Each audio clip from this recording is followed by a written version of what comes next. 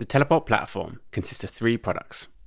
Teleport Access, to secure privileged access to infrastructure, Teleport Identity, to further harden your security with identity governance, and Teleport Policy, to unify and control access policies across all of your infrastructure. Together, these products improve productivity for engineers, make infrastructure resilient to identity based attacks, and enable companies to pass audits with flying colours. In this video, we'll cover the basics of Teleport. The Teleport platform improves productivity for engineers and operations teams. Let's take a look at Teleport Access. Teams use Teleport to provide access to all infrastructure resources across clouds and on prem. Dave has an inventory of all the resources that he can access to get his job done.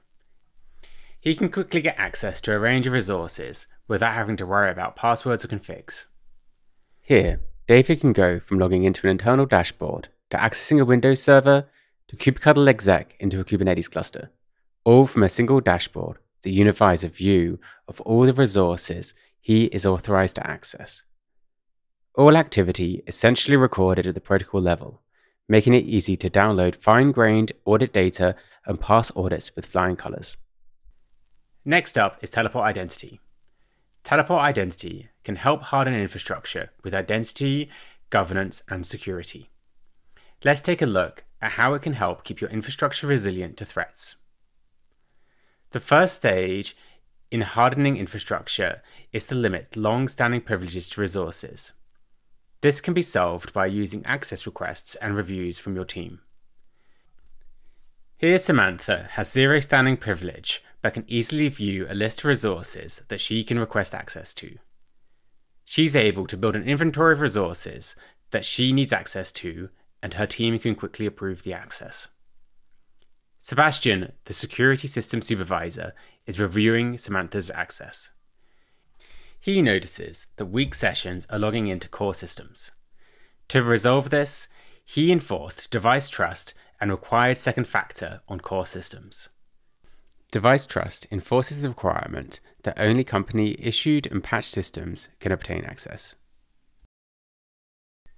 While investigating the strange access pattern, Sebastian identifies unusual behavior on one of the systems and for one of the intern's accounts.